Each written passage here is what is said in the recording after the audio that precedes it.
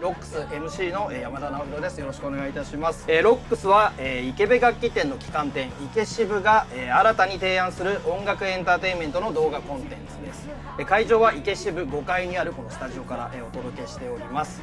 記念すべき第1回目 MAD3の皆さんです。よろしくお願いします。まずですね今日のこの ROCKS の実はそのロゴとかあのキャラをですねあの直哉さんっていう、まあ、学画伯が書いてくれたんですけど、まあ、エディさんもアイデアをたくさんくれてですねおかげさまで今多分この辺のどっかに出てると思うんですけれども可愛いのできましたね。可愛いのができましたよエディさんありがとうございました、いえいえこちらこの現在のメンバー体制になってから、まあ、まだ数ヶ月だと思うんですけど、どうですかこのお三方になってから？そうですね。やっとなんか理想の形になったかな。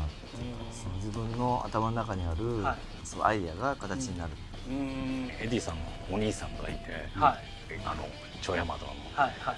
がやエディさんに言ったっすよね、ああそう。うんやっと理想のメンバーに会えたなややっとお前やっとお前のやりたいことできるなって言われて。やっぱりお兄さんのさすが分かっていらっしゃるいや初めて聞いたあそう。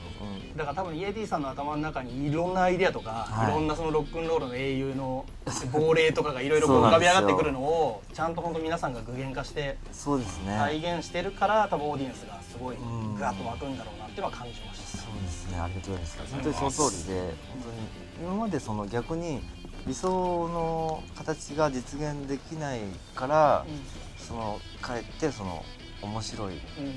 それが昔の祭りだったんですよメンバーがみんな圧力があって、ん。で変わった音楽ができたんですけど、うん。異形な異物的なものがそういう物質ができたんですけど、でも今は音楽への愛情とかそうい。うそういうカルチャーに対するそのうん。そういうなんか美学とかをうん。もっと素直に、うんもっと美しく表現したいなと、なるほどなるほど、はい、今日のライブもどんなライブ見せてくれますでしょうか？最新のマット3ということで、まあそのヘイトじゃなくて、はい。ちょっと愛を持ってはい。演奏したいと思います。わかりました。ありがとうございます。楽しみにしております